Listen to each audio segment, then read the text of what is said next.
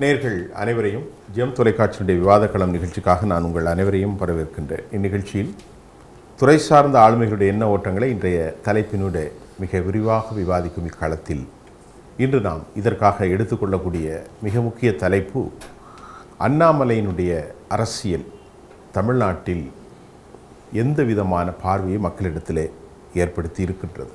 அண்ணாமலை பாரதிய ஜனதாவை ஆட்சிக்கு கொண்டு வருவதற்கான முயற்சி எடுப்பதாகவும் சமீப காலமாக பாரதிய ஜனதாவின் மூத்த தலைவர்களில் பல பேர் பல தசாப்தங்களாக அந்த கட்சியை வழிநடத்தினார்கள். ஆனாலும் கூட இத்தனை விமர்சனங்கள் வந்ததில்லை. இவர் தன்னிச்சையாக செயல்படுகிறார். கூட்டணி கட்சிகளோடு கூட முரண்படுகின்றார். பொதுக்களத்தில் பல விடயங்களில் அவருடைய பேச்சுக்கள் கட்டவிழ்த்துவிடப்படுகிறது என்றெல்லாம் விவாதம் இருக்கின்றது. ஆகவேதான் அண்ணாமலையினுடைய அரசியல் தமிழ்நாட்டில் ஈடுபடுமா? என்ற தலைப்பை நாங்கள் வைத்திருக்கின்றோம். அப்படி என்றால் அண்ணாமலையின் அரசியல் என்றால் பாரதிய ஜனதா ஆட்சிக்கு வருமா என்ற கேள்விதான் இதில் ஆழமாக புதைந்திருக்கின்றது. இதோடு சேர்த்து நாம் பல்வேறு விடயங்களை பேசுவதற்காக எம்முடைய அரங்கத்திற்கு வந்திருக்கிறார். வலதுசாரி மற்றும் அரசியல் விமர்சகர் திரு ஸ்ரீராம் அவர்களை நான் வரவேற்கின்றேன். சார் வாருங்கள் திராவிட முன்னேற்றக் கழகத்தினுடைய ஆதரவாளர் வழக்கறிஞர் திரு தமிழ்வேந்தன் ஆர்எஸ் அவரை வரவேற்கின்றேன். வாருங்கள்.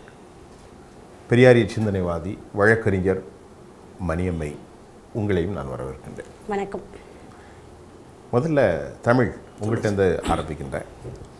சமீப காலமாக நீங்கள் ஒரு வழக்கறிஞர் ஒரு பொது ஊடக ஆர்வலர் பிஜேபி ரொம்ப திமுக தி அண்ணா திமுகவை விட அதிகமாக பல்வேறு விஷயங்களில் விவாதிக்கப்படுது. இப்போ அதை தாண்டி இன்றைக்கு பார்க்கும்போது அக்கட்சியின் உள்ள உள் உறுப்பினர்களுக்குள்ளே ஒரு conflict among the members in between BJP அவங்களுக்குள்ளே ஒரு விதமான மோதல்.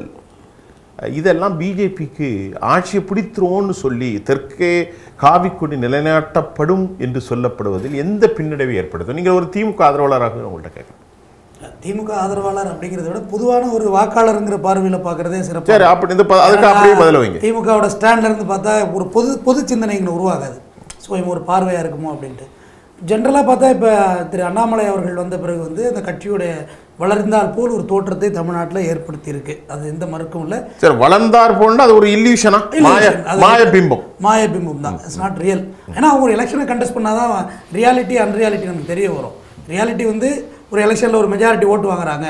ஒரு ஜெயிக்கிறதுக்கு வந்து ஒரு நாற்பத்தஞ்சாயிரம் ஓட்டில் ஒரு எம்எல்ஏ ஜெயிச்சிருக்காருன்னா ஒரு பதினஞ்சாயிரம் ஓட்டு வாங்கினாங்கன்னா திரும்பி பார்க்குற ஒரு ஓட்டு தான். இப்போதைக்கு அவங்கள்ட்ட இருக்க ஓட் பேங்க் பார்த்தீங்கன்னா நாம் தமிழர் விடவெல்லாம் பின்னாடி தான் அவங்க வாக்கு செலுத்த வச்சுருக்காங்க. அது ஒரு புறம்.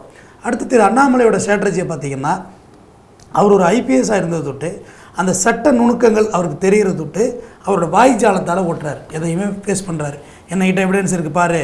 என்னகிட்ட அது இருக்குது பாருன்னு எல்லா டிபேட்டிலையும் எடுத்து எடுத்து காட்டுவது. ஆனால் இன்ன வரைக்கும் எதுவுமே காட்டினதில்லை. அவரோட வாட்சிக்கான பில்லு கூட இன்றைக்கி வரைக்கும் காட்டலை. அவர் வாட்சி ஒரு விவாத பொருளாக போயிட்டு. ஏன்னா அது ஏப்ரல் மாதம் வாங்கினது பில்லு தர்றேன் இல்ல இப்ப நம்ம அது ரெண்டாவது பேசுவோம். இப்ப அவர் எந்த விதத்துல கட்சியை வளர்க்கிறார்? அவர் வந்து ரொம்ப ஆளுமைகளோடு பேசுறார். தினமும் அண்ணாமலையுடைய காலம் தவறினாலும் காலையிலே அண்ணாமலையுடைய பேட்டி இருக்கிறது. இடையில அமெரிக்காவுக்கு செல்லும்போது அவருடைய பேட்டி வரவில்லை. ஆனா இப்போது எப்பொழுதும் அண்ணாமலையுடைய பேட்டி இருக்கு. ஏதாவது கருத்து. திமுகவின் மீது குற்றம் பண்டல் பண்டலாக குற்றம் சுமத்துறார். ரெண்டு லட்சம் கோடிக்கு காலையில குற்றம் சுமத்துறார். அதாவது அவரை பொறுத்தவரை தான் சொல்கிறேன் வாய்ஜாலத்தில் குற்றமாக சொல்லிக்கிட்டே இருக்காரு. என்கிட்ட ஆதாரம் இருக்குத்தான். ஒன்று கூட காமிக்க மாட்டாரே. காமிப்பான இல்ல காமிக்கல உடனே எப்படி வரும்? மெதுவா எடுக்கணும் இல்ல சரி எடுத்து காமிக்க ஆட்சிக்கு வந்து ஒன்றரை வருஷம் ஆச்சு. கொஞ்சம் கொஞ்சமா நோண்டணும் இல்ல பார்த்து பார்த்து எங்க துறைமுருகன் பாஸ் வாங்கியிருக்காரு எங்க ஸ்டாலின் போயிருக்காரு எங்க ரெட் ஜெயின் தப்பு பண்ணியிருக்குன்னு பார்க்கணும்ல. அதற்கு தான் டைம் எடுக்கிறேன் திமுக இப்போ வந்து ரூலிங் பார்ட்டி இருக்கிறது அது மேலே விமர்சனம் வைப்பாங்க தான். யார் வைக்கல? சீமான் கூட தான் வைக்கிறாரு. அதை அதிமுக ஊழல் பண்ணியிருக்கானா வாய் திறக்க மாட்டாரு எல்லாருமே திமுக எகென்ஸ்ட் திமுக. அவ்வளவுதான் ஒரே பாயிண்ட் ஆஃப் வியூ இவங்களுக்கு வேற எந்த சிந்தனையுமே இல்லை.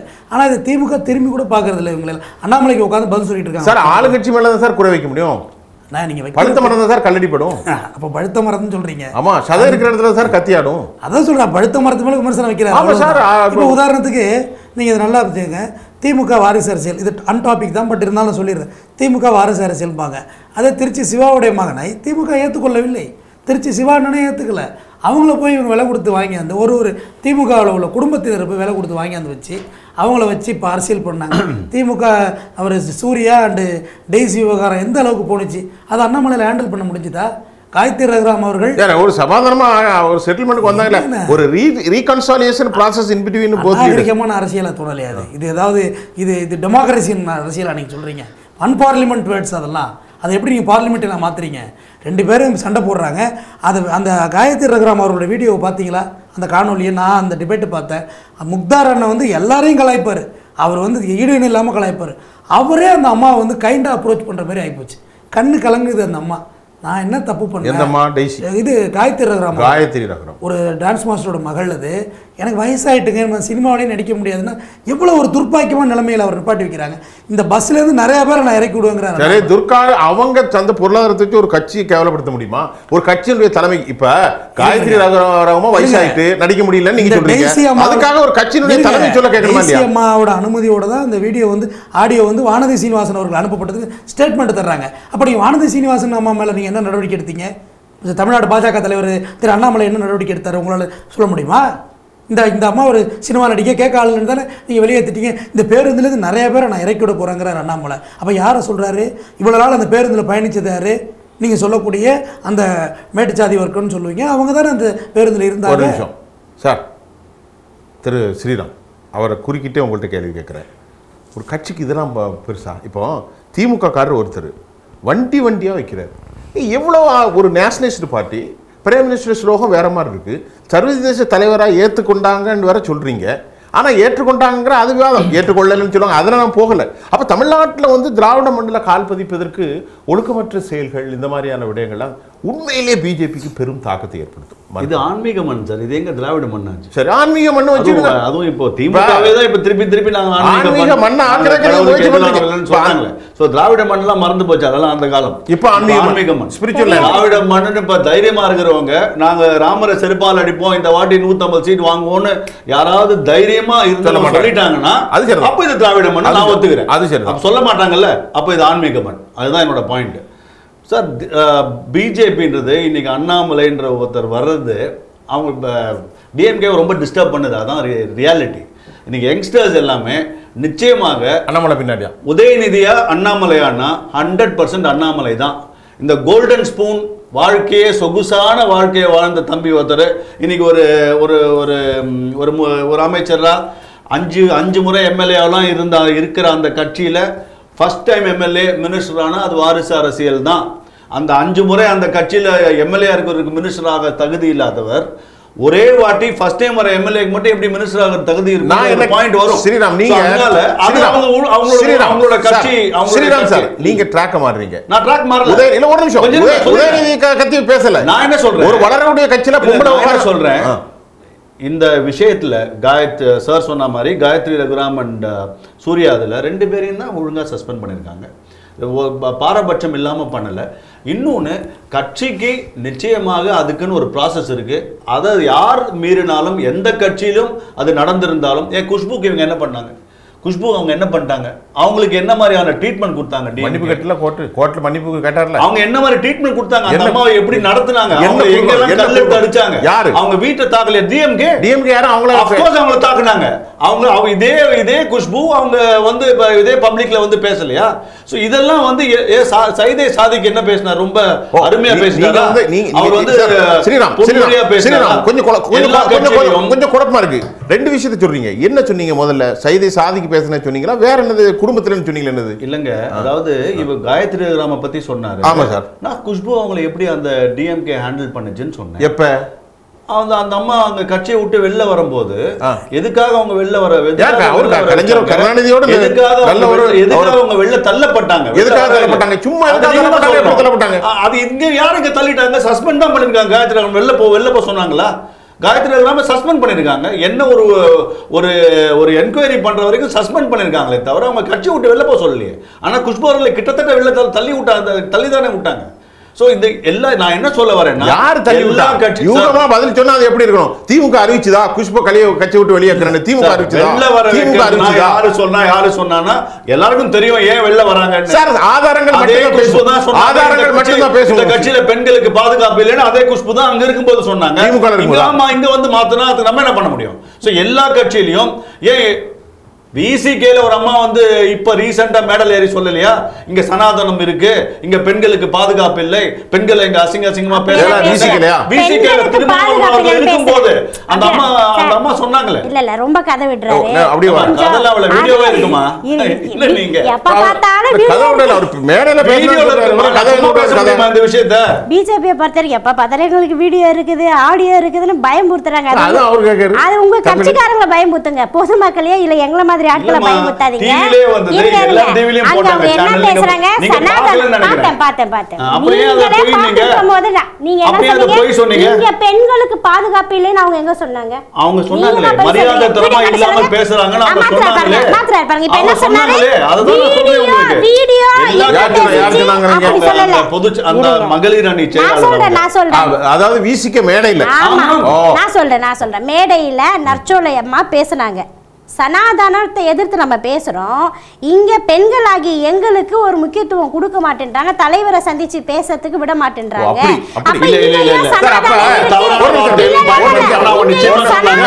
அந்த வீடியோ இருந்தா நான் இப்ப கூட காட்ட முடியும் அவங்க. சொல்றது சனாதனத்துல பெண்களை ஒடுக்கப்படுறாங்க நீங்க. சனாதனத்தை இங்க வந்தீங்கன்னா இங்கேயும் வந்து இப்ப ஆண்களுடைய உரிமை.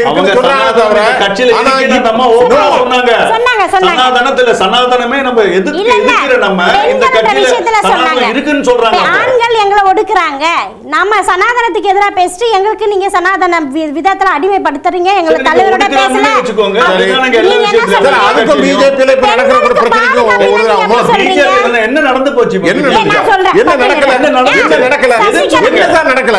சூர்யா and காயத்ரிக்கு அந்த ஒரு proper enquiry என்ன சார் நடக்கல? அதுக்கு உடனே வந்து காயத்ரி கைய பிடிச்சி வலிச்சீங்களே சசிகலா சசிகலா புஷ்பா. அப்படின்ற ஒரு அம்மாவை? கைய வச்சுக்கிட்டு சும்மா பாட்டம் நிமிஷம். போட்டாங்க ஒரு நிமிஷம் நான் இருங்க. காத்திருக்கேன். நான் ஒரு நெறியாளர் சரியா தான் பேசணும் இல்லைன்னா மக்கள் பார்ப்பாங்க நான் என்ன கேட்கேன் பாய் நம்பர் ஒன்று கேடி ராகவனுடைய பிரச்சனை பெரும் பரபரப்பு சூர்யா டிசி பிரச்சனை பெரும் பரபரப்பு காயத்ரி ரகுமா அவங்க காயத்ரி ரகுராம் அவங்க துபாயில் ஹோட்டலில் இருந்தாங்க அது ஒரு பிரச்சனை அப்புறம் என்ன இவர் ஒருத்தர் ரெட்டின்னு ஒருத்தர் பேசும்போது சபரீஷனோட ரெண்டு மணி நேரம் ஹோட்டலில் இருந்தாங்க இப்படி எல்லாம் வெளிப்படையா ஒரே பாலியல் விவகாரம் அசிங்கமா இருந்தா ஒரு கட்சியை பத்தி வேணாம். மக்கள் என்ன நினைப்பாங்க திமுக. விலைவாசி கூடிட்டு முக்கியம். இதை பத்தி கட்சி என்ன எந்த கட்சியில இருந்தாலும் சரி சார். தனிநபர் ஒழுக்கம்னு தேவை சரி. அந்த ஒழுக்கம் இல்லாதவங்க இந்த கட்சியில இருந்ததுனாலே அந்த கட்சியில எல்லாரும் ஏங்க எல்லா போலீஸ்காரும் லஞ்சம் வாங்கணும்னு சொல்ல முடியுமா நீங்க சார். யாரோ ஒருத்தர் ரெண்டு பேர் அந்த மாதிரி நடக்கிறதுனால நம்ம வந்து எல்லா? ஒரு ஒரு ஒரு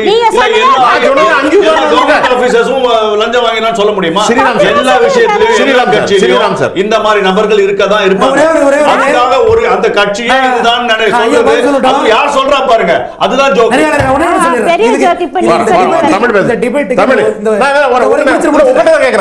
அவர் என்ன சொல்றாரு? எந்த கட்சியில ஐயா இல்ல? எல்லாத்துலயும் நல்லவன் இருப்பான் கெட்டவன் இருப்பான். right, right. அவர் என்ன சொல்றாரு. பாலியல் பலாத்காரம் என்பது கைய வைக்கிறது சீன்றது எல்லா இடத்துலயும் நடக்கு.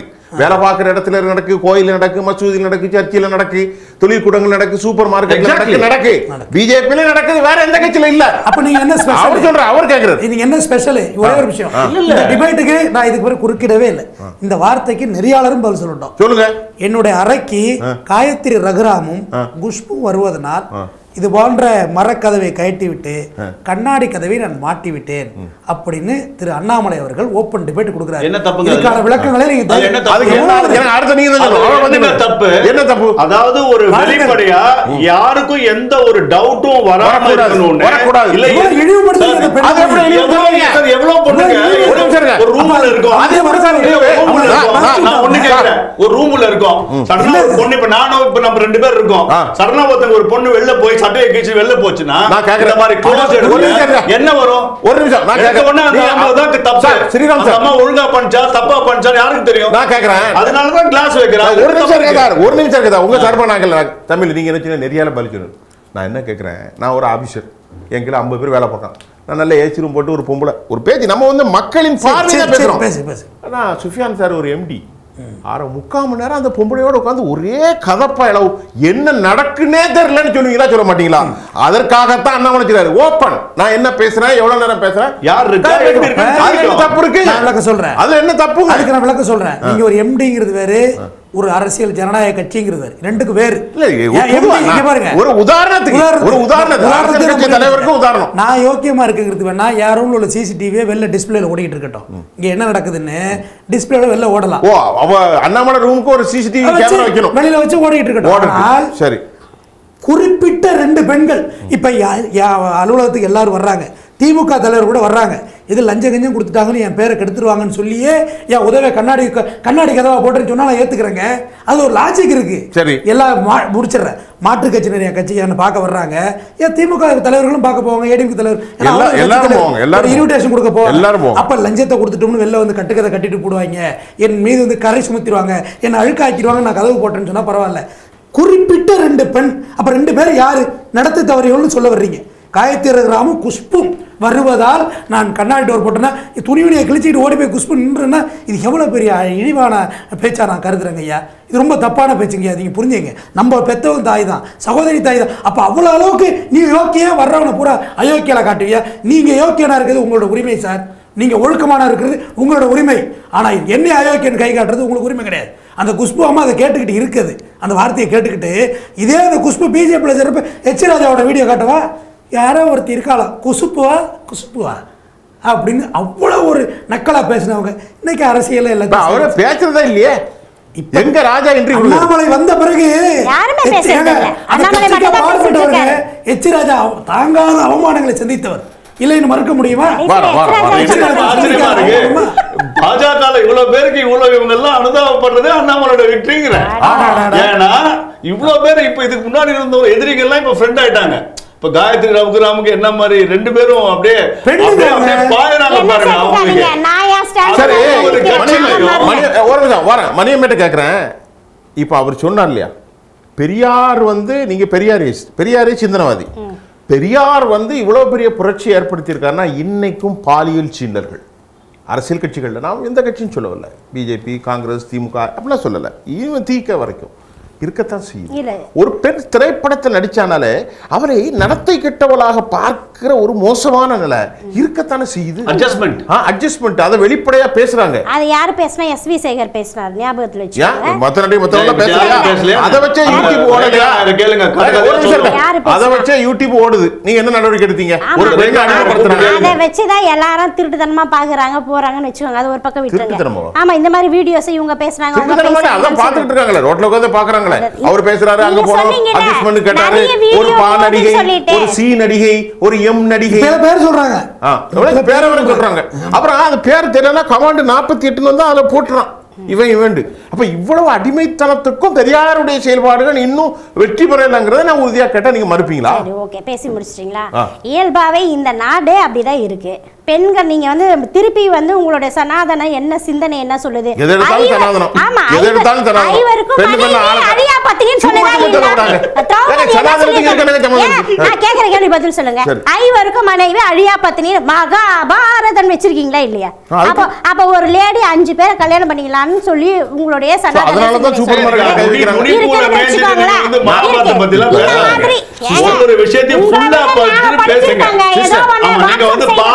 விஷயத்தை. வச்சுட்டு இப்படி நீங்க பேசுறது? நான் பேசுறீங்க. யாருடைய வெற்றி என்ன நீங்க- தெரியுமா? நான் சொல்றேன். நான் கேட்கறேன் நீங்க ஒன்று சொன்னீங்க. இங்க மட்டும் இல்லைங்க. இந்தியா ஃபுல்லா ஒரு சொல்லி ஒரு. நிமிஷம். நான் உங்கள்கிட்ட தான் கேட்குறேன் உங்களை உங்களுடைய நேரம் தான். கேத்தலிக் சர்ச்சில் அதிகமாக நடக்குது செக்ஷுவல் ஹராஸ்மெண்ட் மிகப்பெரிய அளவுக்கு. எங்க நடக்குது? கேரளாவுல. போப்பே சொல்றாரு. அப்ப இதுக்கு சனாதன காரணமா. இல்ல ஒரு மசூதியில ஒரு பெரிய பிரிஸ்ட் வந்து அடுத்தவருடைய மனைவியை கை வச்சது வீடியோ ஃபுல்லா போச்சு தமிழ்நாட்டுல. அது உலக இதுக்கு சனாதன. காரணமா? அது உலக பிரச்சனை. உலகத்துல ஒவ்வொரு மதங்களும் பெண்களை பேசுறேன். அதுதான் என் கேள்வி நீங்க இப்ப கேட்டீங்க. நான் பதில் சொல்ல தேவையில்லையா? ஒவ்வொரு பெண்களையும் என்ன சொல்லுதுன்னா பாலியல் பண்டங்களை தான் எல்லா மதங்களும் சொல்லுது. பெண் என்றால் அழகானவள். அப்படின்ற ஒரு கருத்து தான் வச்சுருக்கேன். இதே நீங்கள் ஆம்பளை பசங்கன்னா என்ன சொல்கிறீங்க வீரமானவன். அவன் கையில் துப்பாக்கி கொடுக்கணும்னு சொல்கிறீங்க அதே பொம்பளை குழந்தைங்களா இருந்தால் என்ன சொல்கிறீங்க சொப்பு வாங்கி கொடு சமையல் காட்டு இதை தானே சொல்லி கொடுக்குறீங்க. அப்போ இந்த அடிப்படை சிந்தனையை தகர்த்து உலக அறிவை பெண்களுக்கு கையில் கொடுன்னு சொன்னார் பெரியார். கையில் இருக்கக்கூடிய குழம்பு கண்டியை தூக்கி எரிஞ்சிட்டு புத்தகத்தை கூட படிக்கட்டும் பெரிய ஆள் ஆகட்டும் உனக்கு ஈக்குவலாக இப்போ நான் உட்காந்துட்டு இருக்கேன்ல. ஒரு நூறு வருஷத்துக்கு முன்னாடி இந்த நிலைமை இருந்துச்சா? ஏன் பொம்பளை ஏ கோதாவரி அந்த டவல் எடு இப்படிதான் நம்மளுடைய படம் காட்டுச்சு. இன்னைக்கு பாட்டு பரல சிங்கப்பெண்ணே சிங்கப்பெண்ணேன்னு சொல்லி இந்த மாற்றத்தை ஏற்படுத்தியது தந்தை திராவிட ஒரு நிமிஷம். தான். ஏ கோதாவரி ஏ ஜமுனா ஏ மல்லிகானா புருஷன் கூப்பிட்டா அப்படியே வந்து மோர் கொடுப்பா. இன்னைக்கு "ஓ, போயா அப்படின்னு சொல்ற மாதிரி நிலைமை இது- நாங்க திருப்பி கேக்குறோம். அடே? கிருஷ்ணா வாடா எனக்கு கொஞ்சம் காஃபி எடுத்துன்னு வந்து குடு நான் குடிப்பேலா? திருப்பி என்ன அந்த காஃபியா? உங்களுக்கு குடுப்பேலான்னு சோறு. அப்பவும் ஒரு ஜாதியை தான் குத்தி காட்டுறீங்க ஜாதி எடுத்துன்னு தாடா காஃபி. என்னடா எல்லாரும் வெயிட் பண்றேன்னு கேட்டா ஒத்துப்பீங்களா? ஒத்துக்க மாட்டீங்கல்ல அப்ப பெண்கள்னாலே சமையல கிச்சன் டிபார்ட்மெண்ட் தானே ஒதுக்கி வச்சிருக்கீங்க. சரி இப்போ பெண்களை பத்தி பேசல இப்போ நான் கேட்குறேன் மணியமேட்டு கேட்குறேன் இது பொதுவாக நீதி. நம்ம வந்து ஒரு இந்த விவாதத்துல பல விஷயம் நமக்கு வரும். பாரதிய ஜனதா அண்ணாமலையினுடைய கருத்துக்கும் இப்போ உங்க பெண் நீங்க ஒரு பெண்ணையும் சார்ந்தவர்கள். ஆயிருந்தா இருந்தாலும் கருத்து சித்தாந்தத்தில் நீங்களும் அவங்க கண்ணியத்துக்குரிய அந்த பெண் காயத்ரி அம்மாவும் வேறு வேறு சித்தாந்தம் ஆனால் அவள் ஒரு பெண். நீங்களும் ஒரு பெண். அவங்க எங்க இழிவுபடுத்தப்பட்டதா? இல்ல நான் என்ன சொல்றேன்னா பாஜகவில் தொடர்ந்து எல்லா பெண்களையுமே அப்படிதான் பேசுறாங்க. உங்களோட கட்சியில முக்கியமான பொறுப்பாளர்களா இருக்கக்கூடிய பெண்களை நம்ம தொடர்ச்சியா பார்த்துட்டு தான் இருக்கோம். நீங்க தமிழிசை சவுந்தரராஜன் அவர்களே கூட கருப்பு நிறத்தை வச்சு கிண்டல் பண்ணாங்க. இல்ல இல்ல பாஜக நீங்க சொல்ற கட்சிக்காரங்க தான் பண்ணாங்க. நீங்க. சப்போர்ட் பண்ற கட்சிக்காரங்க தான் பண்ணாங்க. நீங்க அப்போ. வந்து பெண்களுக்கு பெண்கள் நீங்க வேண்டாம் கேள்வி. கேட்டீங்க? நீங்க பேசும்போது நான் அமைதியா இருந்தேன். ஆனா கேள்வி கேட்கணுன்றது நீங்க நிறுத்த. முடியாதுமா என் நீங்க நான் தமிழிசை சொல்றேன். அவர் பேசும்போது நான் நான் எனக்கு குறுக்க பண்ணதான் பண்ணுவேன். சரி, அப்ப நீங்க அது பேசி தப்பு இல்ல சொல்லுங்க சொல்லுங்க. அவர் பேசி முடிச்சு அவர் சொல்றாரு. ஆ சரி. ஆ சொல்லுங்க. அப்போ அந்த மாதிரியான தவறா அவங்கள வந்து என்ன சொல்ற ரெண்டு ரூபாய் சீப்பை வாங்கி தலையை வாரிக்கலாம் அப்படின்னு சொல்லி ரொம்ப அவங்கள வந்து ஹராஸ்மெண்ட் பண்ணும்போது திராவிடர் கழகத்தின் சார்பாக கண்டனம் வந்தது. நீங்க எப்படி வந்து ஒரு பெண் அதுவும் வந்து ஒரு கட்சியினுடைய தலைவரா இருக்க மாற்று சிந்தனை இருக்கலாம். அது வேற விஷயம். நீங்க அந்த மாதிரி வந்து ஒரு பெண்ணை அப்படி பேசக்கூடாதுன்னு சொல்லி பேசியிருக்கோம். அம்மையார் ஜெயலலிதா அவர்களை கிண்டல் பண்ணும்போது அதை நாங்க எதிர்த்து பேசியிருக்கோம். எந்த பெண்ணா இருந்தாலும் சரி உனக்கு தைரியம் கருத்து ரீதியா மோது வா? யாரா இருந்தாலும் வா நேர்ல வந்து உட்காந்து ரீதியா. எங்களுக்கு பேசுறது Right, இருக்கு நாங்க பேசுவோம். இப்ப கூட மூணு ஆண்கள் இருக்கிறீங்க இத்தனை ஆண்கள் இருக்கு நடுவுல உட்காந்து பேசினா எனக்கு அந்த துணிவு இருக்கு அந்த தெளிவு இருக்கு நான் பேசுவேன் ஆனா யாரையுமே உடல் ரீதியா பேசாதீங்க இது ஒண்ணு. இவங்க ஆதரிச்சு? பேசுறாங்க. ஒரு மாநில கட்சியினுடைய. தலைவர் சொல்றாரு நான் கண்ணாடி மாட்டி வச்சிருக்கேன்னா அப்ப அந்த பெண்களை எவ்வளவு கொச்சப்படுத்துறது அப்ப அந்த. பொண்ணுங்களை நீங்க உங்க மனசுல என்ன நினைச்சு வச்சிருக்கீங்க இந்த சினிமாக்காரினா இப்படிதான் இருப்பா இவ்வளோ இவங்க கிட்ட நம்ம தள்ளி தான் இருக்கணுன்ற ஒரு மோசமான கருத்தை தான் நீங்கள் சொல்கிறீங்க இவங்க அந்த ஸ்மிருதி இராணி வந்தாங்க பாருங்க. தமிழ்நாட்டில் பாலியல் தொல்லைகள் அதிகமாக இருக்குது பெண்களுக்கு எதிராலாம் பேசிட்டு போனாங்க. நான் கூட என்ன இந்த மாதிரி திடீர்னு பெண்கள் மீதான பிரச்சனையை பற்றி பேசுகிறாங்கன்னு அப்புறம் தான் இதை அவங்க சொந்த கட்சியை பாஜக சொல்லிட்டு போயிருக்காங்கன்னு. ஏன்னா கட்சிக்குள்ளே அவ்வளோ பிரச்சனைகள் நடக்குது. கேசவ விநாயகம் பிள்ளைன்னு ஒருத்தர் இருக்கார் பாருங்க. பிள்ளையோ ஏதோ அவர் விநாயகம் தான். விநாயகம் தான். அப்போ பிள்ளை எண்ணிக்கிடலாம் அவருடைய ஃபோட்டோஸ் எவ்வளோ வெளியில் வருது? இப்போ ஒருத்தர் பேரை பேச ஆரம்பிச்சா நிறைய பேருடைய ஃபோட்டோஸ் அப்படியே வருது. அப்போ நீங்கள் என்ன பண்ணுறீங்க கட்சி நடத்துறீங்களா? இல்லை வேற என்ன பண்ணுறீங்க அப்படின்ற ஒரு பொதுவான சகோதரி. பாஜகவுக்கு சேர்ந்த சூர்யா அவர்கள் சொன்ன கருத்தை வந்து ரகுராம் ஒத்துக்கிறாங்க. இது வந்து அன்அபிஷியல் இல்லை. அவங்களோட டிபேட்டு தான். அது அவங்கள்ட்ட தான் இதுக்கான கட்டம்கிட்ட கேட்கணும். கேசவ விநாயகத்தை அட்ஜஸ்ட் பண்ணலன்னா பாஜகவில் பொறுப்பு வாங்க முடியாது. இதெல்லாம் ஒரு நான் பச்சையா சொல்றாங்க. சார் ஒரு நிமிஷம் ஒரு நிமிஷம் சார். அவங்களோட இது- தமிழ் சொல்லல. அவங்க எண்ணிக்கை ஒரு நிமிஷம் இது தமிழுடைய கருத்தோ மணிமேறு கருத்து கண்டிப்பா இல்ல. இது என்ன சார் இது? ஒருத்தர் ஒரு பழைய நடிகர் சொல்றாரு இந்த டைரக்டர் ஆ நடிகர்? இதே மாதிரி ஆதாரம் கொடுங்க ஒரு. நிமிஷம் இப்படி சொல்றாங்க? ஒரு ஆட்சியை பிடி சொல்றவங்க சொல்றவங்கள ஆதாரம் கொடுக்க சொல்லுங்க. அது யாரா இருந்தாலும். இதுக்கு சொல்றது? மட்டும் இதுக்கு மட்டும் ஆதாரம் கேட்பீங்க. ஆனா நீங்க சொல்றதெல்லாம் நான் கேட்டு ஆமா தலையாட்டுன்னு போயிட்டுமா எதா இருந்தாலும் ஆதாரத்தோட பேசுங்க. எப்படி ஆதாரம் அது? யாரா எப்படி ஆதாரம் இருந்தாலும் கொடுக்கணும்? அது யாரா இருந்தாலும் எப்படி ஆதாரம் கண்டிப்பா ஆதாரம் எப்படி ஆகும். சார், ஏங்க? பென் டிரைவ்ல வேணுமா? போட்டோல வேணுமா? வீடியோல வேணுமா? எந்த ஆதாரம் சொல்லுங்க? நம்ம. திருச்சி சிவா அவர்களை நம்ம பார்க்கலையா. இல்ல திருச்சி சிவா அவர்களை பார்க்கலையா? எப்படி சார்? எப்படி சார்? இதே புஷ்பா மேடமோட பார்க்கலையா? சரி சார். நம்ம பார்க்கலையா. போட்டோல பார்க்கலையா? அது என்ன பார்க்கலையா? மறுக்கலையேங்க அப்போ ஆனா மறுக்காததால. நீங்க செஞ்சு கரெக்டா? மறுக்காததால நீங்க செஞ்சது கரெக்டா. நீங்க ஒழுக்கம்னு வரும்போது மறுத்ததோ மறுக்கலையோ. ஆனா ஒழுக்கம் இல்லைன்னு நம்ம ஒரு- பேசணும். எனக்கு ஒரு ஒரு ஒரு வித்தியாசம் சொல்றது. அது அவங்க இது சொன்னாங்க. அப்படிலாம் நீங்க நம்ம எடுக்க முடியாது. நிச்சயமாக நான் இந்த கட்சியை எப்படிலாம் ஏன்னா இதே திருச்சி சிவா தான் நேத்து வீடியோல பேசியிருக்காரு. நம்ம எதிரியை நம்ம வந்து தப்பு நம்ம வந்து எளி- எளிதா நினைக்க வேணாம். அவங்க ரொம்ப பாஜக.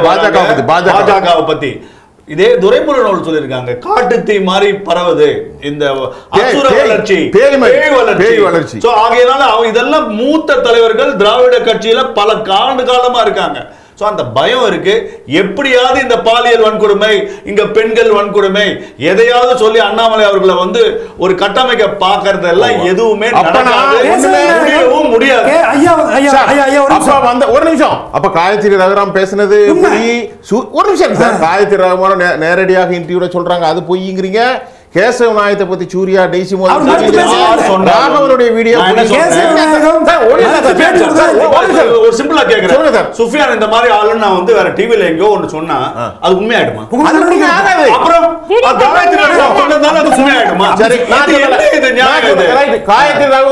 அவங்க பேரு ரகுராம் சொன்னா பொய்யா உண்மையாகாது. ஆமா. சிடி ரவி என்ன சொன்னாரு? விசாகா கமிட்டி அமைக்க வேண்டிய சூழ்நிலையில பாஜக இருக்குன்னு சொன்னாரு?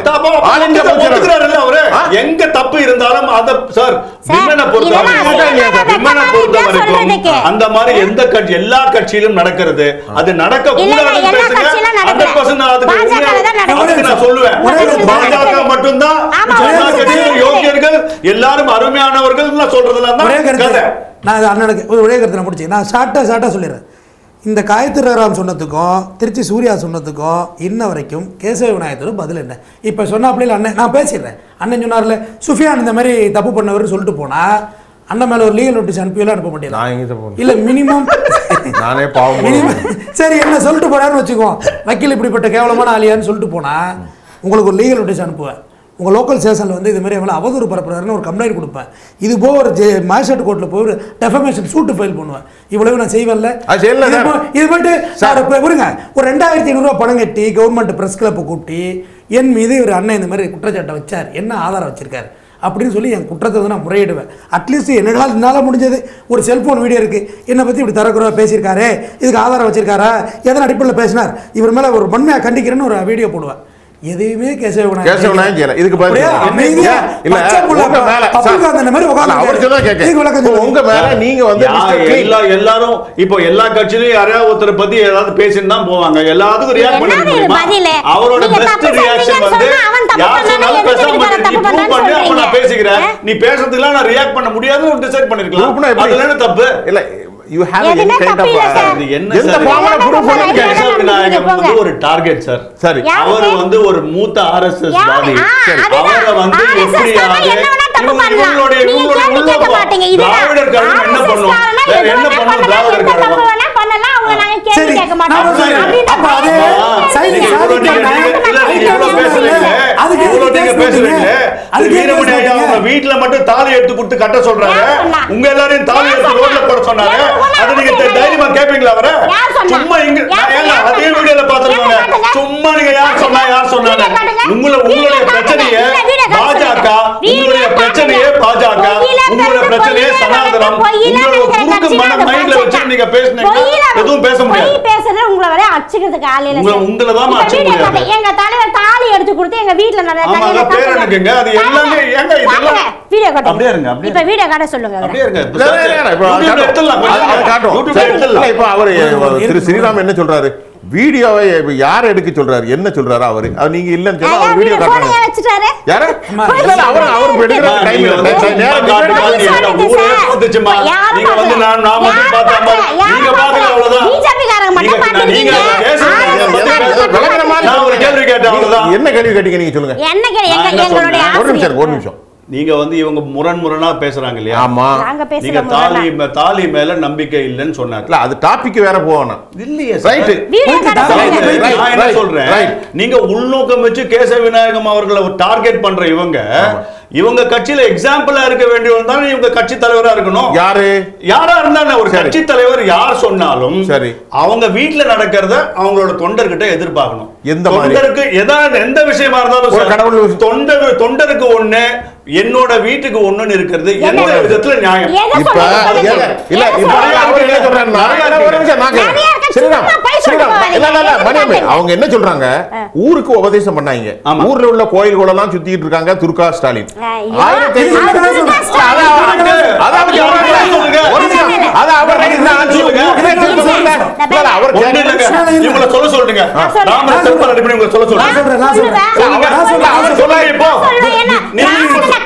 அவர் அடிப்பேன். நீங்க என்ன சொன்னதே எங்கள் தலைவரை சொன்னார். திராவிடர் கழக தலைவர் ஆசிரியர் தாலி எடுத்து கொடுத்து அவங்க பேரம் கட்டினார். போய் பச்சையா சொன்னார். பச்சை பச்சையா சொன்னார். எங்க வீடு எடுத்து காட்டுங்க. ஆமா. வீடு எடுத்து காட்ட சொல்லுங்க. அமைதியா இருக்க காட்டுங்க. மக்களுக்கு முன்னாடி சரி. இப்ப திராவிட கழகத்தினுடைய நீங்க என்ன சொல்லுங்க ஊருக்குன்னா ஒரு உபதேசம்.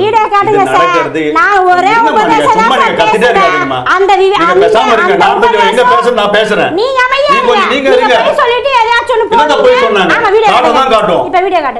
சரி இப்ப வீடியோ இப்ப காட்டுங்க. திரு தமிழ். இப்ப நான் பதில் சொல்றேன். கேட்ட பதில். சொல்லுங்க சொல்லுங்க அதாவது கோயிலுக்கு போறது வந்து திருமதி அண்ணன் துர்கா ஸ்டாலின் அம்மாவோட விருப்பம் அதை அவர் ஒரு பூர்ஷுவா இருந்தால் தடுத்து நிறுத்த ரொம்ப நாளே ஆகாது நீ போகக்கூடாதுன்னு ஆனா அது இல்ல அது அவரு. இல்ல துர்கா ஸ்டாலின் அம்மையாருடைய விஷயத்தை நான் தான் கேட்டேன் நீங்க தான் அவர் சொல்றாரு சொல்லுங்க. நாகரிகமா நாகரிகமா தான் நாகரிகமா. இல்ல, நான் பொட்டு- நான் பொட்டு வச்சிருக்கேன். அது உங்க இஷ்டம் நான் அது உங்க. இஷ்டம் அதை வந்து அவர். என்ன சொல்றாரு. உலகத்திற்கு கடவுள் மறுப்பு இயக்கத்தையும் சாதி மறுப்பு இயக்கத்தையும் மூட நம்பிக்கையும் சொல்லிவிட்டு எதை மூட நம்பிக்கைகள் என்று சொல்லுகிறீர்களோ அதை நீங்க செய்றீங்கன்னு கேட்கிறாரு. அவர் தான் சொல்லணும். கோயிலுக்கு விளக்கம். கோயிலுக்கு போறத மூட நம்பிக்கை நான் சொல்ல முடியாது. அது அது நீங்க உங்க நம்பிக்கை. நீங்க வந்து இதுல மங்களகரமா வச்சிருக்கீங்க. நான் என்ன பதில் சொன்னா தந்தை பெரியாரோடைய குடும்பத்திலே எல்லாருமே கடவுள் நம்பிக்கை நம்பிக்கை உள்ளவர்கள். உட்பட. ஆனா ஐயாவுடைய கொள்கை கேட்டா அதெல்லாம் தூக்கி எறிஞ்சிட்டு வந்தாங்க. இந்த அம்மாவுக்கு அந்த விருப்பம் இல்ல கோயிலுக்கு போறாங்க. அது மெயினா என்ன பண்றாங்க? பப்ளிசிட்டி. பண்றாங்க. அவ்வளவுதான். விஷயம்.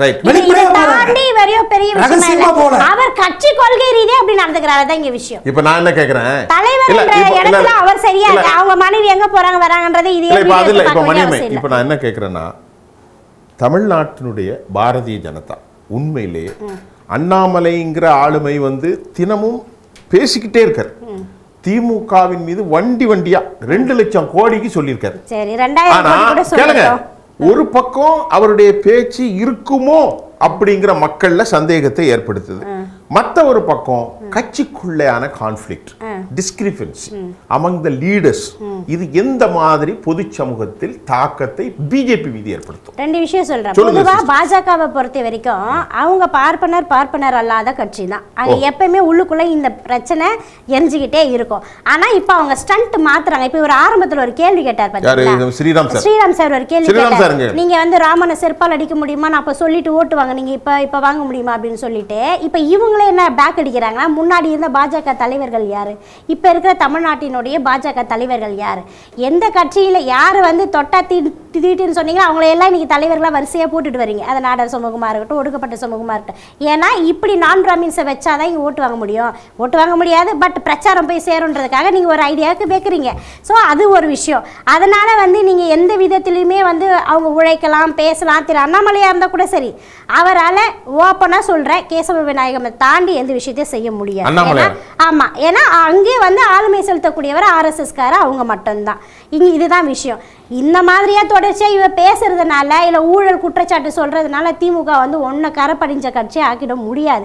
ஏன்னா மாண்புமிகு முதல்வர் அவர்கள் தினந்தோறும் திட்டங்களை தீட்டிக்கிட்டு இருக்கிறார். இன்னைக்கு இந்தியா டுடேல தமிழ்நாட்டினுடைய முதல்வராக அவர் தான் வந்து முதல் இடத்துல இருக்காரு. மாநில வளர்ச்சி நாலாவது இடத்துல எட்டாவது இடத்துல இருந்த தமிழ்நாடு இன்னைக்கு முதல் இடத்துல வந்து சேர்ந்திருக்குது. அப்ப பெண்களுக்கான நிறைய திட்டங்களை கொண்டு வராரு. பள்ளி மாணவர்களுக்கான திட்டங்கள்னு சொல்லி இளைஞர்களுக்கான திட்டங்கள் நிறைய கொண்டு வராரு. அதனால இந்த மாதிரி திட்டங்கள் வரும்போது பிஜேபியினுடைய இந்த பரப்புரை சரியில்லை. இல்ல அது எடுப்படாது சார் அவரே இல்ல, இப்போ சரி ஒரு நிமிஷம். திரு ஸ்ரீராம் சார் ஒரு தலைவர்னா ரொம்ப நம்பிக்கையா இருக்கணும் சார். எப்படி இருந்தாலும் நான் ஒரு நெறியாளரா? அது திமுக அதிமுக பிஜேபி காங்கிரஸ் சொன்னதை செய்யணும். நான் இந்த வாட்ச் ரஃபேல் வாட்ச். இதுல ஒரு உதாரணத்துக்கு நீங்க சொன்னீங்கன்னா அதுக்கு எக்ஸ் மாடல் அது டைட்டானியம் அலுமினியம் சேர்த்தது பிஐ எக்ஸ் டைட்டானியம் அலுமினியம் அதை நாங்கள் படித்து பார்த்து பார்த்தால் பிபிசியில் சொல்லியிருக்காங்க. ஒரு அஞ்சு ஒரு ஒரு குறிப்பிட்ட ஐநூறு வாட்ச் தான். அதில் நான் ஒன்று வாங்கியிருக்கேன். நான் வாங்கியிருக்கேன். அது நல்ல ஒரு குவாலிட்டி இந்த நாட்டில் இருக்குதா? அவர் நிறைய பேசுகிறார் ரஃபேல் உடமான உலகத்தில் எங்கே இருக்கா? அதெல்லாம் பேசுகிறார் பில்லை கேட்டால் உடனே பில்லை கொடுக்க வேண்டியதானே நான் கேட்குறேன். சும்மா சாதாரண நீங்கள் நான் வந்து ஒரு போத்தீஸில் பேர் சாமான் எடுத்து வந்தேன். சரவணா ஸ்டோரில் எடுத்தேன். இல்லை இங்கே ஒரு புதில். சார் பில் இருக்கா? இதா பில்லை கொடுக்கலாம்ல? அதுக்கு ஏப்ரல்? சார் முதல்ல இது இதெல்லாம் எப்படி ஒரு முதல்ல தலைவர் நீங்க சொல்லு அவங்க நான் சொல்லிடுறேன். அவங்க ஒய்ஃப் என்ன குவாலிஃபிகேஷன் உங்களுக்கு தெரியுமா? தெரியும். அவங்க ஐஏஎம் பெங்களூர் பெரிய அவங்க ஐஎம் கான்பூர் கூட கிடையாது அங்கதான் அண்ணாமலை நல்ல. கல்வியாளர். அவங்க வந்து much better better premier institute than Annamalai. அதெல்லாம் இருக்கட்டும் அவங்களுடைய income seven times more then திரு அண்ணாமலை. ஐபிஎஸ் இருந்த போது எஸ் எக்ஸாக்ட்லி அவருக்கு பில் எப்போ நிச்சயமா கொடுக்கணும்ன்றது தெரியும். அவரோட இன்கம் சாமானியர்களுக்கு. அவரோட இன்கம் இல்லாம அந்த மாதிரி வாட்ச் எங்க? இன்னைக்கு அப்ப சவுக்கு சங்கர் அவர்கள்லாம் இப்ப வீடியோ போட்டிருக்காங்களே அதுக்கெல்லாம் ஆத பில் நான் என்ன கேக்குறேன்? இல்ல, இல்ல இல்ல, இல்ல, இல்ல. ஏன் பாலாஜி அவர்கள் மாத்தினாரு? நாங்க வந்து அவங்க வந்து இப்போ அபிடேவிட்ல கொடுத்தாரன்னு தான் கேட்டோம். நாங்க வந்து இப்போ அந்த அது தெரியுமா தெரியாதா இப்போ? அவர் இப்ப கேட்டுக்கிறது இப்போ அபிடேவிட்ல. கொடுத்தாரன்னு தான் கேட்டோம். நான் கேட்க ஏன் இப்ப சொல்றீங்க. ஏன்னா நீங்க வந்து தேன் தேன் கூட்ட கைய தொட்டுட்டீங்க. அண்ணாமலையா? அண்ணாமலை பல. வாட்சுக்கு நீங்க பில் தரணும். அண்ணாமலை பதினாலு சொல்றாங்களே நாற்பது லட்சம் ரூபாய் வாட்ச்? 40, நாலு லட்சம். நாலு லட்சம் லட்சம். பன்னெண்டு லட்சம் பதினாறு லட்சம்லாம் நம்ம கொடுத்திருக்காரு சவுக்கு. சரி. அவருக்கான பில் எல்லாம் நீங்களும் கொடுக்கணும். அதாவது யாரெல்லாம் சொன்னாங்களோ எல்லாம் கொடுக்கணும். சார், நான் அதை அது. அங்கேயும் கேளுங்க. அவரையும் கேளுங்க அண்ணாமலையும் கேளுங்க வாஸ்தவமான பேச்சு. அவர் மேல அண்ணாமலையை மட்டும் அவர்களை மேல வழக்கு போடுங்க சவுக்கு மேல வேண்டாம். கோடி ரூபா ஒரு கோடி ரூபா கார்ல போறோம் போறம்போது அது எங்க வந்ததுன்னு நம்ம கேட்க Bill இருக்கு சார், இருக்கு. ஆ, அதேதான் இவருக்கும் இருக்கு. சார், நீங்க. நீங்க பில் இங்க போட்டுட்டாங்க பாருங்க. எங்க பில் கிடையாது. சரி நான் இப்படி வரேன் அண்ணாமலை நீங்க பில் தர மாட்டேன்றீங்க எங்களோட வாட்சுக்கு எல்லாம் இதான் பில் எடுத்து இந்த போடுங்க நீங்க. போட மாட்டேன்றீங்க நீங்க போடுங்க நீங்க தான் ப்ரூவ் பண்ணீங்களா ஒரு வாட்சை வச்சுட்டு. நீங்க வந்து எனக்கு டைம் கொடுங்க அதாவது ஒரு பேட்டி பார்த்தேன் பேசிட்டு, பேசு. அண்ணா வணக்கங்கண்ணா என்கிட்ட அஞ்சு சட்டைங்கண்ணா இது போக போயிட்டு வர்றது ஒரு ஜோடி செருப்பு வச்சிருக்கேங்கண்ணா நாலு வேஷ்டி வச்சிருக்காங்கண்ணா நல்லா பேசுறாரு. இப்படிதான் அண்ணா, அண்ணா, மரியாதையா சொல்றது. பேசுறாரு. அண்ணா. என்ன சொல்றேன் அண்ணா, அண்ணா, அண்ணா, நாங்க தப்பா? யாரு என்ன ஏழை பண்றீங்க? ஆ? அண்ணா அண்ணன் சொன்ன 50 ரூபா அண்ணா போட்டா தப்பா சார் அஞ்சு பேர் சட்டை வச்சிருக்கவர் தான் ஒன்றரை கோடி ரூபாய் வாட்சி நான் சொல்றேன் நீங்க அஞ்சு கோடி நான் ஒருத்தர் வச்சிருக்க பொருளை வந்து கேவலப்படுத்துற அந்த மாதிரி சீப்பான மனநிலை எனக்கு கிடையாது. சரி. நல்ல காஸ்ட்லியான பொருள் வச்சுக்கோங்க. கேக்குறி வேந்தன் இந்த வயசு எங்க வாங்குனீங்கன்னா இது எனக்கு கிஃப்டா கொடுத்தாருங்க ஃப்ரெண்ட் ஒருத்தர். அவர் நம்பர் இந்த இருக்கு வேணா கேட்டுங்கன்ட்டு சிம்பிளா நான் முடிச்சுக்கிறேன். இல்ல நான் காசு கொடுத்து வாங்கினேன். இல்ல என் மனைவி வாங்கி கொடுத்தா. இல்ல என் ஃப்ரெண்டு வாங்கி கொடுத்தான் கீழே கடந்து எடுத்தேன்னு கூட சொல்ல இப்ப என்ன கெட்டு போச்சு? ஏன் இவ்வளவு பெரிய பெல்ட் belt? ஏப்ரல் மாசம் தர்றேன் மே மாசம் தர்றேன் பில்லு கேட்டா ஆனா இது பில்லு கிடையாதுங்கண்ணா. வித்தவுட் பில்ல வாங்கினங்கண்ணா ஜிஎஸ்டி இல்லாம வாங்கினங்கண்ணா இல்ல அப்படி சொல்லிட்டு போய் இல்ல அப்படி சொன்னா பிரைம் மினிஸ்டர் சப்கா சாத் சப்கா விசாஸ் சப்கா விஸ்வாஸ் சப்கா ஒரு பிர- ஒரு பிரச்சாரம். சப்கா சப்கா விஸ்வாஸ். சப்கா விகாஸ் சப்கா விஸ்வாஸ். அப்படி ஒரு உலக பிரகடனத்தை அதாவது the proclamation has been made very clear. Under the leadership of Mr. Modiji Modiji வந்து நெவர் காம்ப்ரமைஸ் வித் நேஷன் தேசத்தோடு தேசத்தோடு. அவர் சொல்றாரு அண்ணாமலைஜி சொல்றார். அப்படி இருக்கும்போது நான் வித்தவுட்ல வாங்கினேன் சார். பில் இல்லாம வாங்கினேன் சார். அர்த்தம் பர்மா பஜார்ல வாங்கினேன் சார் சொல்ல முடியுமா? சொன்னா அந்த கட்சியினுடைய அடையாளம் என்னாச்சு? இதுதான்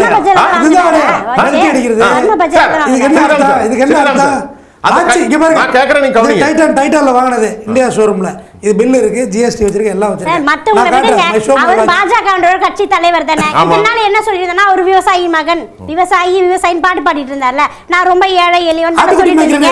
இப்ப உங்க மேல ஒரு குற்றச்சாட்டு வந்தா அதை நிரூபிக்க வேண்டியது நீங்க தானே சொல்றாரு. ஏக்கர் வச்சிருக்கணும் விவசாயி தான்? மூணு ஏக்கர் வச்சிருக்கணும் விவசாயி தான். நூறு ஏக்கர் வச்சிருக்க விவசாயி ஆடியில. போனாலும் அவர் விவசாயி.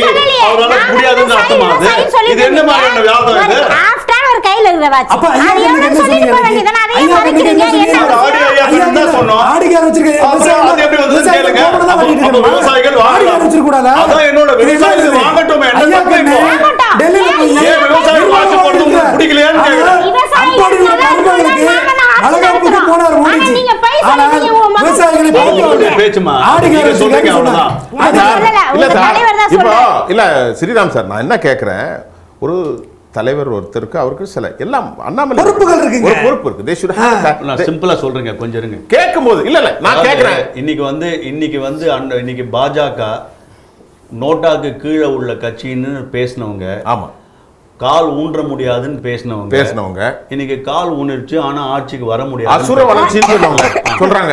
இப்போ அது- இது அது- வந்து எப்படி வந்து அது- பாஜகவை பத்தி ஒரு நாளும் பேசாத இந்த தமிழக ஊடகம் இன்னைக்கு அன்றாடம் பாஜக இவ்வளவு நாள் வளர விடாம இன்னைக்கு அன்றாடம் பாஜக? பத்தி பேசுதுன்னா எதனால பேசுது. யார் பேச வச்சா? அது அண்ணாமலை. அந்த- அந்த ஆளுமை தான் பேச வச்சு இன்னைக்கு அந்த. அண்ணாமலை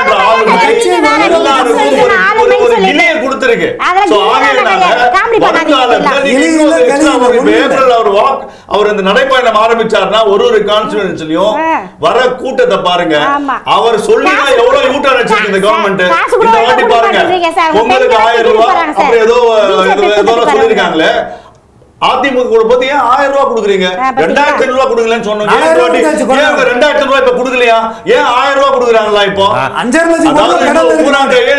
அஞ்சரை லட்சம் பொண்டாட்டி கொண்டிருக்கிறது. விடலாம். ரெண்டாயிரத்தி ஐநூறு ரூபாய் லட்சம் கோடி ரூபாய் ஆயிரத்தி ஐநூறு இன்னைக்கு ஆட்சிக்கு வந்துட்டு திருப்பி ஆயிரம் ரூபாய் தான் கொடுக்குறேன் எங்க போச்சு ரெண்டாயிரத்தி ஐநூறு ரூபாய்? கேட்கிறது- அதனால சொல்றது நான் கேட்கிறது-.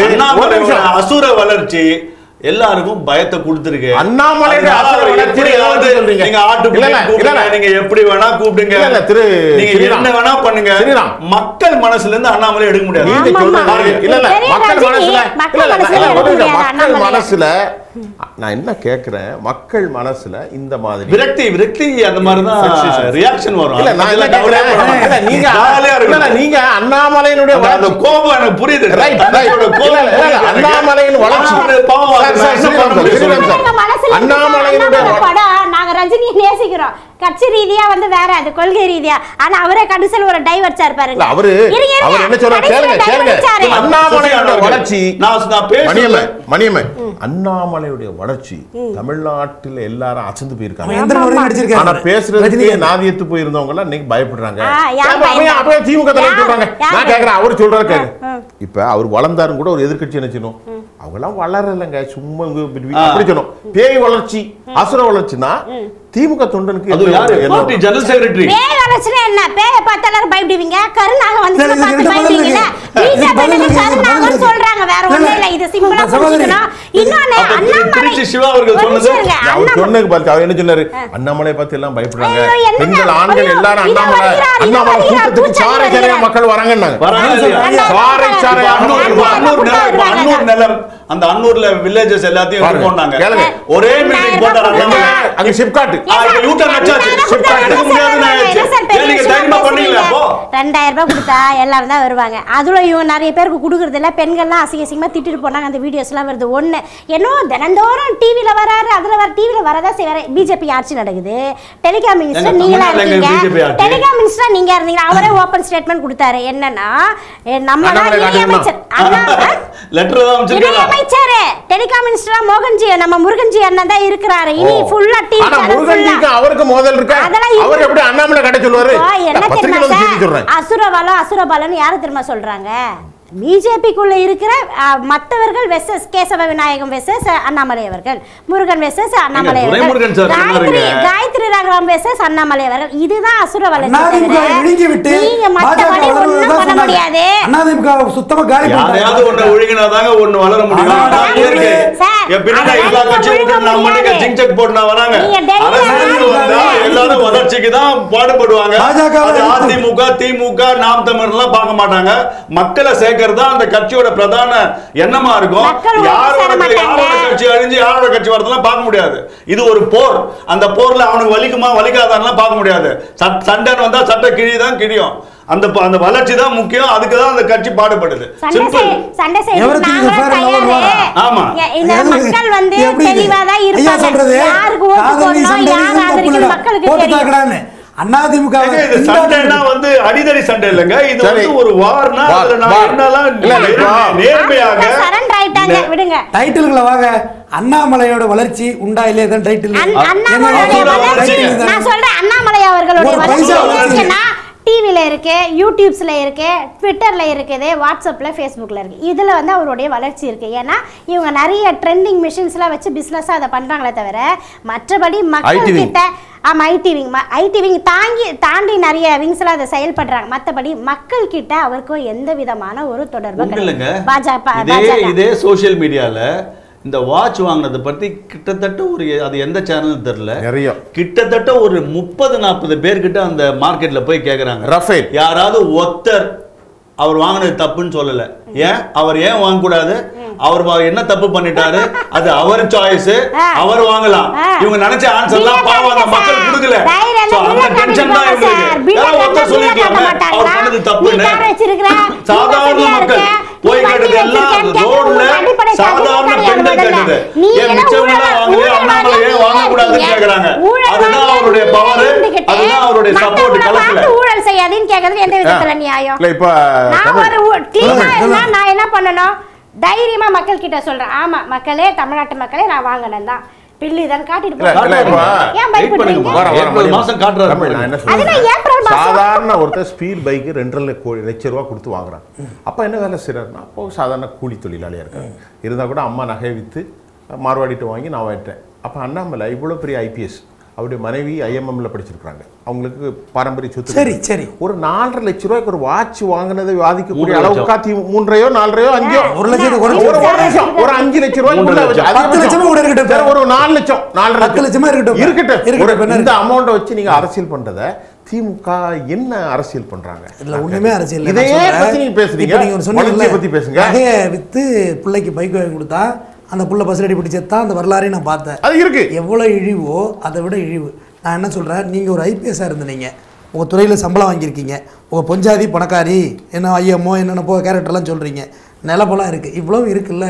அந்த வாட்ச் ஆமாம் நான் தான் காசு கொடுத்து வாங்கினேன். இல்லை என் பொஞ்சாதி வாங்கினுச்சு. இல்லை எனக்கு கிஃப்டாக வந்துச்சுன்னு தைரியமாக பிரேவாக நீ சொல்லி. இவ்வளோ பேசுகிறல்ல நீ ஃப்ராடு நீ ஃப்ராடு நீ கட்டிருக்க வாட்சி நீ போட்டிருக்க சட்டி வேலை இது நீ போட்டிருக்க பனியா வேலை இதுன்னு எல்லாரையும் குற்றச்சாட்டு சொல்கிறல்ல நீங்கள் சுத்தமாக இருக்க வேண்டும். அடுத்தவனை குறை சொல்கிறீங்கல்ல ஆமாண்ணா நான் காசு கொடுத்தா வாங்கினதுல என்னென்ன இருக்குது ரபேல் வாட்சினா அந்த விமான வாட்சினா மோடி கொடுத்தாருன்னு மோடிக்கு சீஃப் கிஃப்ட் கொடுத்தாருன்னு சொல்ல. தப்பே இல்லையே. ஏங்க சார்? ஒரு பாரத பிரதமர். ரபேல் நிறுவனம் கொடுத்துச்சுன்னு சொல்லுங்களேன். என்ன தப்பு? எப்படி கொடுப்பாரு? எப்படி கொடுக்கு. ஒரு எப்படி அன்பை எப்படி ரஃபேலுக்கு அண்ணாமலைக்கு என்ன அண்டர்ஸ்டாண்டிங் இருக்கு? இல்லாம எப்படி. எப்படி அண்டர்ஸ்டாண்டிங். நீங்க மேல மேல பிரச்சனை சிக்கலாக்க. போறாரு. அது இல்லாம எப்படி இருக்கும்? இல்லாம அவர் என்னன்னா. பாஜக இவங்க. எல்லாரும் டிஸ்டர்ப் பண்ணிடுச்சு சார். அதான் சார் உண்மை? இவங்க இன்னைக்கு கதறாங்க பாருங்க. ஏங்க நீங்க. பாட்டுக்கு வீட்ல போய் தூங்குங்களேன் நீங்க தான் நாங்க- பெரிய ஆளுமை தான் பயங்கரமான கட்சினா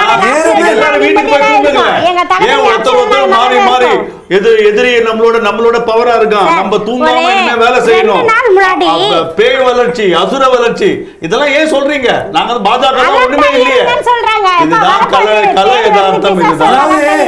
மாறுது தளபதி பழைய கதையை சொல்லி இனிமே ஓட்ட முடியாது. இது. மேடையில போய் உட்கார்றாரு. மக்கள் சீனிவாசன் அம்மா கீழே உட்கார்ந்திருக்காங்க. அதாவது ஸ்டேஜ்ல இல்ல. ஸ்டேஜ் ஒரு அறுபது பேர் உட்கார்ற ஸ்டேஜ் போட்டிருக்காங்க. ரீசெண்டா கோயம்புத்தூர் நடந்த நிகழ்ச்சி. இவர் மேடைக்கு போயிட்டாரு அந்த அம்மா அங்க உட்கார்ந்திருந்தாங்க மேடைக்கு போய் உட்கார்றதுக்கு முன்னாடி அவங்க வர சொல்லுப்பா அப்படின்னு சொல்லி வானதி சீனிவாசன் அம்மா மேடைக்கு வர சொல்லி அழகு பார்த்து ஒரு சரி. அது ஒரு நாகரிகம். நாகரிகம் மேல கூப்பிட்டு உட்கார பாஜக சண்டை பாஜக சண்டை போடுறதா திமுகவுக்கு வேலையா? பொங்கல் வருது மக்களுக்கு எல்லாம் செய்யணும். நல்லது கெட்ட செய்யணும். ஜல்லிக்கட்டு நடத்தணும். போன வாட்டி மக்களுக்கு ரெண்டாயிரத்தி ஐநூறு ரூபாய் தான்னு சொன்னது. அதிமுக அரசை பார்த்து. நீங்க ரெண்டாயிரத்தி ரூபாய் நீங்க அன்னைக்கு ஆயிரத்தி ஐநூறு ரூபாய் உள்ள கொடுத்தாரு எடப்பாடி. பதினஞ்சு லட்சம் ரூபாய் அன்னைக்கு நீங்க. ரெண்டாயிரத்தி ஐநூறு ரூபாய் சொன்னீங்க. இன்னைக்கே. கொடுக்கல. இன்னைக்கே கொடுங்க. ரெண்டாயிரத்தி ரூபாய் கொடுக்காம ஆயிரம் ரூபாய் கொடுக்குறீங்க. பதினஞ்சு லட்சம் பெட்ரோல் கொடுங்க. நாற்பது ரூபாய் கொடுங்க. டீசல் ரூபாய் கொடுங்க. காட்டுங்க, வீடியோ காட்டுங்க. நீங்க வீடியோ காட்டுங்க. வீடியோ காட்டுங்க. பதினஞ்சு லட்சம் லட்சம் வீடியோ காட்டுங்க. அவன் அம்மா வீடியோ காட்ட சொல்லுங்க. பதினஞ்சு லட்சம் கொடுக்குறேன்னு மோடி சொன்ன பதினஞ்சு முதல்ல லட்சம் ரூபாய் கொடுங்க. தலைவர் சொன்ன இந்த அம்மா வீடியோ காட்ட அதாவது நீங்க சொல்லுங்க ஆரம்பத்துல ஒரு கேள்வி கேட்டீங்கல்ல பெண்கள்லாம் என்ன தமிழ்நாட்டுல வந்து பாலியல் ரீதியா துன்புறுறாங்களே பெரியார் வளர்ச்சியில- பொதுவான கேள்வி. நான் கேட்டது பொதுவான கேள்வி. அதுக்கான பெரியார் இல்ல இல்ல நான் ஒண்ணுன்னா பெரியார் வந்து எல்லாரும் ஒரு குறிப்பிட்ட செக்டார் பீப்புள் பெரியாரை விரும்புறாங்க அவங்க கடவுள் நம்பிக்கை இருந்தாலும் பெரியாரை விரும்புறாங்க. குறிப்பிட்ட செக்டர்னா ஜாதி ரீதியா சொல்லல. கடவுள் நம்பிக்கை உள்ள சிலரும் பெரியாரை விரும்புன்றாங்க. சிலர் நீயா சொல்றீங்க பலர் பலரும் விரும்புறாங்க. இப்ப. அதுதான் நான் என்ன அதனால அவர் வந்து அவ்வளவு ஒரு பெரிய புரட்சிகரம் ஏற்படுத்தவில்லையோ என்ற கேள்வி இல்ல நான் வந்து என்னுடைய இறுதி கருத்தாவே நான் இதை சொல்றேன். இந்த. இந்த கால ரெண்டாயிரம் வருஷமாவே வந்து பெண்கள்னாலே அடிமை தான் கிச்சன் டிபார்ட்மெண்ட் ஒதுக்கி வச்ச ஒரு காலகட்டத்துல தான் அதுல இருந்து தூக்கி எரிஞ்சு வெளியில வரணும்னு சொல்லும் பொழுது இங்கே நம்முடைய மாண்புமிகு சாஹி நீதிபதியா இருந்தார். உச்ச நீதி தமிழ்நாட்டினுடைய தலைமை நீதிபதியா இருந்து வேற மாநிலத்துக்கு போறார். அவர் ஒரு நிறைவு விழால பேசுறார். நான் தமிழ் இந்தியாவில் பல மாநிலங்கள்ல இப்போ நீதிபதியா இருந்திருக்கேன். வேறு எந்த மாநிலத்திலும் இல்லாத சிறப்பு தமிழ்நாட்டுக்கு உண்டு? இங்கே பத்துக்கும் மேற்பட்ட பெண் நீதிபதிகள் இருக்குதுன்னு சொன்னார். அப்ப இது யார் செஞ்ச சாதனை? தந்தை பெரியார் கே- செஷன் கோர்ட்ல இருந்து இப்ப பெரிய பெரிய உயர்நீதிமன்றம். உயர்நீதிமன்றம். பொண்ணு தானே பொம்பளை தானே ஓரமா உட்காரு உனக்கு என்ன? நீ வீட்டில் அடக்க ஒடுக்கமா இருன்னு சொன்ன பெண்களை ஓ மை லார்ட் என் நீதி தேவதனே தேவனே அப்படின்னு சொல்லக்கூடிய ஒரு இடத்துக்கு கொண்டு வந்தது பாத்தீங்களா? அந்த இடத்துல வந்து. இந்த இந்த இதுக்காக தான் பெரியார் உழைத்தார். ஒண்ணு இன்னைக்கு பல்வேறு துறைகள்ல ஒண்ணு இல்லை சார் மெட்ரோ ட்ரெயின் சார். ஏன் ஹைட் தான் சார் ஒரு லேடி இருக்காங்க. எல்லாம் ட்ரெயினை எடுப்பாங்கன்னு வெயிட் பண்ணிட்டு இருந்தேன் சார். கடகடன்னு வந்தாங்க போய் உட்காந்து ட்ரெயின் ஸ்டார்ட் ஆயிடுச்சு. பலருக்கு ஆச்சரியம். உண்மையில புல்லரிச்சு போச்சு. அப்போ-. எந்த அளவுக்கு இன்னைக்கு பல உயரம் தொடுறாங்கன்னா அதுக்கு எல்லாத்துக்குமே காரணம் திராவிடர். இயக்கமும். பெண்களும் தான். பாலியல் பலாத்காரம் எல்லா இடங்கள்ல இல்ல இப்ப நம்ம நிறைவா ஒரு கேள்வி. நிறைவுக்கு வந்துட்டோம். எல்லாருக்கும் நிறைவா ஒரு கேள்வி. இப்ப பெண்களுடைய வளர்ச்சி பத்தி நம்ம டாபிக் பேசும்போது அண்ணாமலையுடைய அரசியல். ரெண்டாயிரத்தி இருபத்தி நாலில் பாஜகவுக்கு கூட்டணியோ கூட்டணியிலையோ எந்த வித வளர்ச்சியை மோடி வந்துருவாருங்கிற ஒரு ஒரு பார்வை இருக்கிறது. பொதுவாக ஊடகங்கள்லாம் இப்போ குஜராத்தினுடைய அசுர வளர்ச்சி நூற்றி ஐம்பத்தாறு இடங்கள் இல்ல அ- people they would have a kind of the different perception but because they vote for BJP அந்த இன்டென்ஷனுக்கு உருவாக்கி இருக்கிறார் அதனுடைய தாக்கம் தமிழ்நாட்டில் ஏற்படுத்தும்? எந்த தாக்கமும் ஏற்படுத்தாது. தமிழ்நாட்டுல திரு அண்ணாமலை அவர்கள் இல்ல. திரு மோடி அவர்களும் வந்தாலும் சரி திரு நட்டாஜி வந்தாலும் தாமரையை நட வைக்க முடியாதுங்க தாமரை நடக்க நட்டவே முடியாது. திரு அது நட்டா எப்படி வந்தாலும் நடுவீங்க தமிழ்நாட்டுல. வைக்க முடியாது நான் சொல்றேன். அக்கா தமிழிசை சவுந்தரராஜனும் அவங்க சொன்னாங்க நாங்க ஜார்ஜ் கோட்டையில் கொடி ஏற்றிய தீர்வோம் இல்லைன்னா என் உயிர் போறதுக்குள்ளன்னு சொன்னாங்க அவங்க பண்ணிட்டாங்க right. இப்படி எத்தனை பேர் வந்தாலும். மோடிஜியா இருந்தாலும் சரி அமித்ஷா ஜி வந்தாலும் இது பெரியார் மண் இந்த மண்ணில் திராவிடம் மட்டும்தான் வெல்லும் இதுக்கு ஒரே ஒரு உதாரணத்தை சொல்லி முடிக்கிறேன். இப்போ ரெண்டு நாளுக்கு முன்னாடி சமீபத்தில் எல்லா மதத்தை சேர்ந்தவர்களும் வந்து பேசுனாங்க. முதல்வர் கூட கலந்துக்கிட்டாரு அதில் வந்து ஒரு சாமியார் அதாவது இந்த ஆன்மீக பணிக்காக தன்னை அர்ப்பணித்து கொண்டவர் அவர் பேசியிருக்கார். மகாலிங்க தேசிய ஆச்சாரியாரோ ஏதோ ஒரு அவர் பேர். அவர் சொல்லியிருக்காரு. வடநாட்டில் தான் ஹரே ராமா ஹரே கிருஷ்ணான்னு சொல்லிட்டு இருப்பாங்க ஆனால் தமிழ்நாட்டிலையும் கேரளாலையும் அது சொல்லாமல் நம்ம தப்பிச்சு இருக்கிறோன்னா அதுக்கு காரணம் திராவிடர் கழகம் இந்த இயக்கம் அப்படின்னு சொல்லியிருக்கிறாரு. நாங்கள் இருக்கிற வரை இந்த கருப்பு சட்டை இருக்கிற வரை அந்த கருப்பு சட்டையில இந்த கருப்பு சட்டை இருக்கிற வரை தமிழ்நாடு பெரியார் மண்ணாக இருக்கும். அனைவருக்கும் சட்டை. அனைவருக்கும் அனைத்தும் என்கின்ற சமூக நீதி இருக்கும். அதுல பாஜக நிறைவு வர கருத்து. நிறைவு கருத்து மகாகவி மகாகவி பாரதியார் பெண் விடுதலையை பத்தி பேசாதது இந்த உலகத்துல யாருமே பேசிட்டல. ரொம்ப பிரமாதம். அவர் அவர். அவரை மாதிரி ஒரு பெண் விடுதலையை பத்தி பேசினது. யாரும் அவர் கிட்ட கூட வர முடியாது. பேசுற மட்டும் இல்ல செய்து காட்டு செய்தியும் காட்டிருக்காரு. ஆகையனால அது அங்கிருந்து ஆரம்பிச்சாச்சு பெண் விடுதலை. பாஜகவுடைய வளர்ச்சியை இப்போ ஆப்வியஸா நம்ம நம்ம வந்து பார்த்துருவோம் பார்த்துருவோம். நீங்க சேலஞ்ச் பண்ணுங்க. ரெண்டாயிரத்தி இருபத்தி நாலுக்கு அப்புறம் பாருங்க. ரெண்டாயிரத்தி இருபத்தாறுல இருபத்தாறு. நீங்க நீங்க வந்து பார்த்துனே இருக்க வேண்டியதான் பாஜக வந்துரும். அதான் என் பாயிண்ட் ரைட் என்னோட இறுதி கருத்து அண்ணன் மகாகவி பாரதியார் சொன்னார் நான் பாரதியாரோட கவிதைகள் ஈர்க்கப்பட்டவன் ஊவே சாமிநாத ஐயரையும் சேர்த்து சொல்லலாம். ஆமா, தமிழ் தாத்தா. தமிழ் தாத்தா. தமிழ் அந்த தாத்தா. உங்க புகழையில யாரும் வந்து யாரையும் கேவலப்படுத்தலை. ஆனால் நீங்கள் இன்னொருவரை சக மனிதனை வந்து மட்டமாக நினைக்கிறது ஒரு கருத்து தான் இங்கே இருக்கிறோம். இன்னொன்று சொல்லிடுறேன்.